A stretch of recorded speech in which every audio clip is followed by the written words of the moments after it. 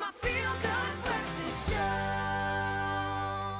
Good morning and welcome back to your Fielded Breakfast show, Expresso on SABC3. Now, last week we saw a Memorial Day remembered all around the world, a day which marks a dark part of our world history, but through us not forgetting, we are enabling future generations to learn from our past. Take a look. The Cape Town Holocaust Centre recently opened a new exhibition focusing on the responses of post war Germans to the atrocities committed during World War II. This international exhibition received a big response in South Africa, opening on a significant date. 27th of January was, in fact, the uh, liberation of the camp of Auschwitz in uh, Poland in 1945, January 1945.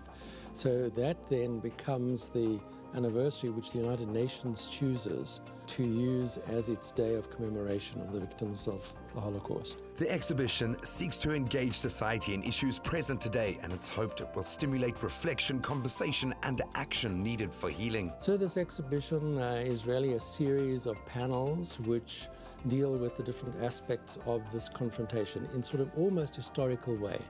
This story is universal, that we can all come to the exhibition and see links to our own pasts as well. So it's not just about Germany. For survivors, this is a tribute and an act of memorialization.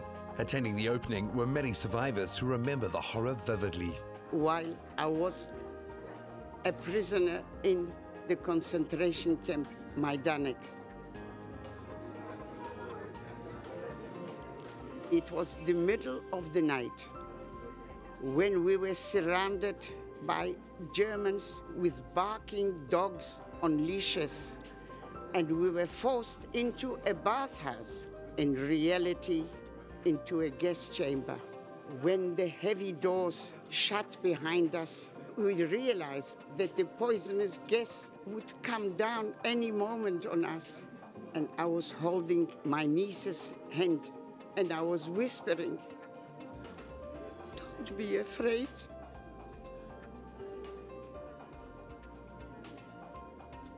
It won't even hurt. And I don't think it will take long.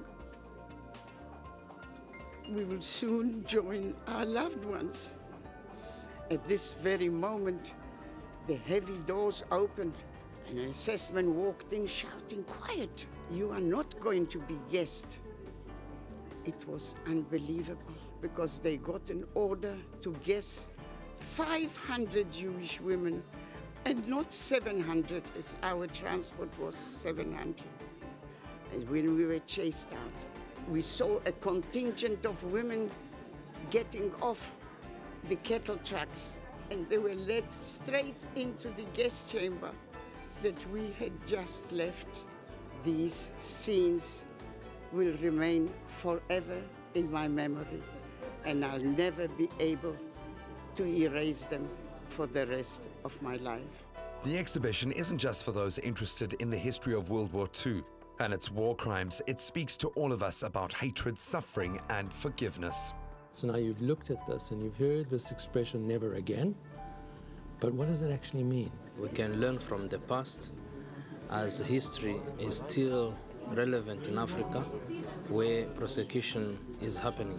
What we're seeing around the world is these outbreaks of ethnic conflict and tensions and racism. We have to look into the future and see what we can learn from the past because this is the only way to deal with these terrible events. The exhibition runs until March, and it's worthwhile to take time to reflect and learn from one of the darkest times in history. There is some goodness in humanity. We are all capable of evil, but we are also capable of good.